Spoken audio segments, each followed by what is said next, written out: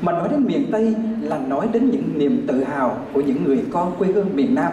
Bởi vì miền Tây là cái nôi sản sinh ra một loại hình nghệ thuật độc đáo của dân tộc, của những câu vọng cổ, của sân khấu, cải lương. Và thưa quý vị, miền Tây còn gọi là một miền nhớ, bởi trong ờ, hành trình mở đất, giữ đất thì còn có những câu chuyện không chỉ là đơn thuần là đấu tranh, mà đó còn là ân tình sâu nặng của nghĩa nước tình nhà của lời ca, tiếng hát. Những tâm tình được chia sẻ đó, chúng tôi mời quý vị cùng đến với bài ca cổ miền nhớ của tác giả lê duy hạnh. Và với bài ca cổ này, chúng tôi trân trọng giới thiệu đến quý vị một nghệ sĩ sẽ thể hiện ca khúc này. Một nghệ sĩ mà cá nhân tôi xem như là một bậc thầy. Khi gặp chị, tôi đều cúi mình với sự trân trọng, tất cả một cuộc đời đã dành riêng cho sự phát triển và bảo tồn của sân khấu cải lương. Xin được trân trọng giới thiệu phần biểu diễn của nghệ sĩ nhân dân bạch tuyết.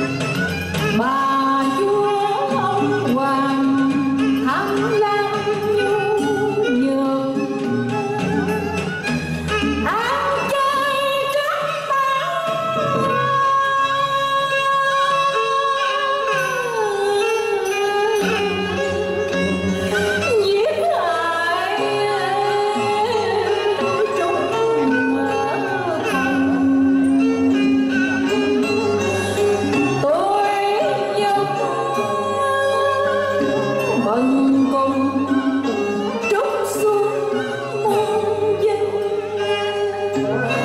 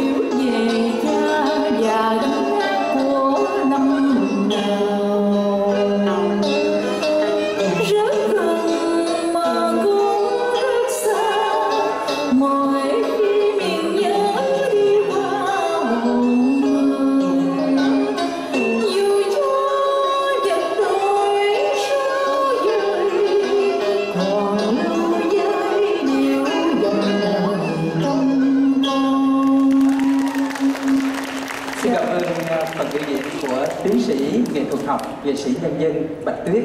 Và thưa quý vị thấy là à, nghệ sĩ nhân dân Bạch Tuyết à, được à, chúng tôi à, yêu mến gọi là con cưng của tổ là bởi vì bao giờ chị lên sân khấu cũng tỏa sáng và luôn thu hút sự quan tâm của mọi người bằng chính tài năng và cái niềm đam mê cháy bỏng trong lòng chị.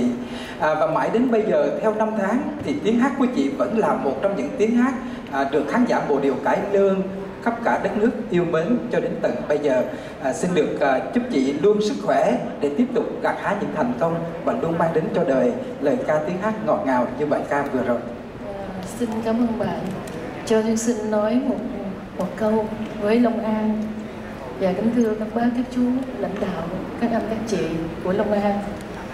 Tôi xuống à, làm giám khảo cho liên hoan ở đây tôi rất mừng và chúc mừng cho Long An có một kết quả hết sức là tốt đẹp. Nhưng mà cái điều tôi kính trọng và xúc động hơn nữa, hơn nhiều trong đời làm nghệ sĩ của mình, tôi thấy rất hiếm ở những cái tỉnh thành nào mà có cái cách chăm sóc đoàn cải lương có thể nói là đầy đủ và nghĩa tình và trí tuệ như Long An vừa rồi. Và hôm nay xuống dự đại dấu tổ cho tôi xin nói lời biết ơn của các anh chị em nghệ sĩ và của riêng tôi đối với sự chăm sóc về văn hóa truyền thống và rất hiện đại nghệ thuật cải lương của Việt Nam. Và nhân ngày dỗ tổ xin chúc cho mọi người từ lãnh đạo cho tới người dân của An Giang đạt được những thắng lợi và những điều tốt đẹp nhất mà ở trong lòng mỗi chúng ta mong mỏi. Và hết sức là biết ơn. Và cảm ơn. Cảm ơn chị. À, tiếp lời nghệ sĩ nhân dân bạch tuyết thì